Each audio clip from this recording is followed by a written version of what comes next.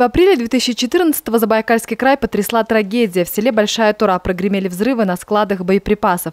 Погибло много людей. От разрушений и сам поселок изменился до неузнаваемости. Население лишилось жилья и восстанавливать дома нужно было экстренно. Одним из подрядчиков, занятых на восстановлении и строительстве объектов, Туры стал агинский предприниматель. Правда, в условиях ЧЕС не был заключен государственный контракт. В итоге предпринимателю оплатили только 60% выполненных работ. Еще 6,5 миллионов рублей рублей до адресата не дошло. Суды не помогли в иске и в апелляции было отказано. Ответ один – нет госконтракта. Акты выполненных работ, технические задания и даже отзывы населения суд тоже не принимает во внимание. На защиту предпринимателя встал арбитражный юрист Бато Дабаев. Этот случай его возмутил. В торгово-промышленной палате Забайкальского края он рассказал о том, как нужно бороться за права предпринимателей в той ситуации, когда было недозаключение госконтрактов.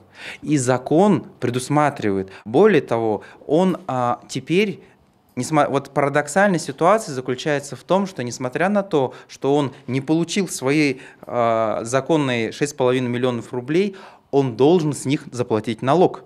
И это требует с него налоговые. Он продал все свое имущество, продал а, а, транспорт, автомобиль, залез в кредиты, на жену взял кредиты. Все для того, чтобы как-то оплатить налоговые. Вот я считаю, это не помощь со стороны государства, когда, а, казалось бы, заключается предварительный договор, имеется все основания просить деньги, предприниматель не получает деньги за выполненные работы, помогает людям, чтобы они не замерзли в результате ЧС и не получает деньги, а еще с, с этого должен заплатить налог. Бато Дабаев уверен, совместными усилиями справедливость будет восстановлена. Кстати, Союз Забайкальская торгово-промышленная палата сегодня тесно сотрудничает с ТПП других регионов.